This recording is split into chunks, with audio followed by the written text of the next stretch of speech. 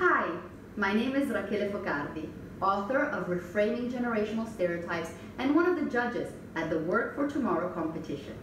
This topic, particularly as it relates to the multi-generational workforce, is one very close to my heart and an extremely important one.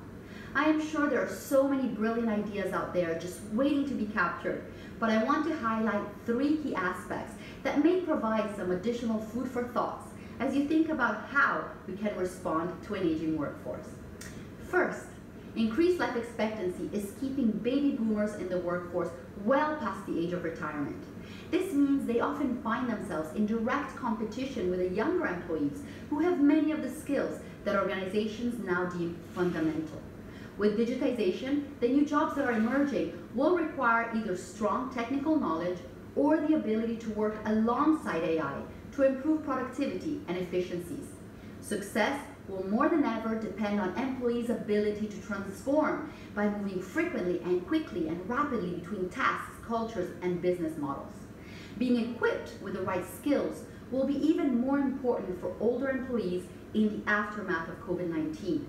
Many industries have sustained lasting damage and will have to reinvent themselves in order to survive.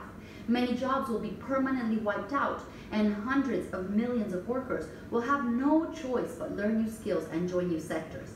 This is where upskilling and reskilling programs come into play, and we are already seeing a number of organizations show strong commitment towards ensuring that older employees remain happy, relevant, and employable, not only by encouraging them to embrace change, but by providing the right learning environment.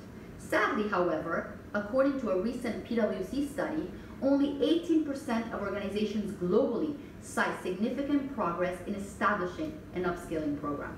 Could this in itself be an opportunity? Second, while it is important for them to continue acquiring the needed skills, we must not forget that what older employees bring to the table is incredibly important and valuable. Sadly, because they're on their way towards retirement, they might not be an organization's top priority when it comes to professional development or career advancement.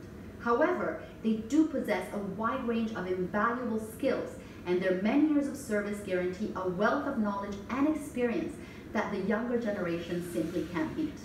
Organizations have a lot to gain from retaining baby boomers and making them feel comfortable, appreciated, and valued. After all, they're not just responsible for the transfer of institutional knowledge, they're also the ones who need to guide young generations to leadership. Finally, between a global pandemic, global warming, inequality, to name a few, our society is facing unprecedented disruption.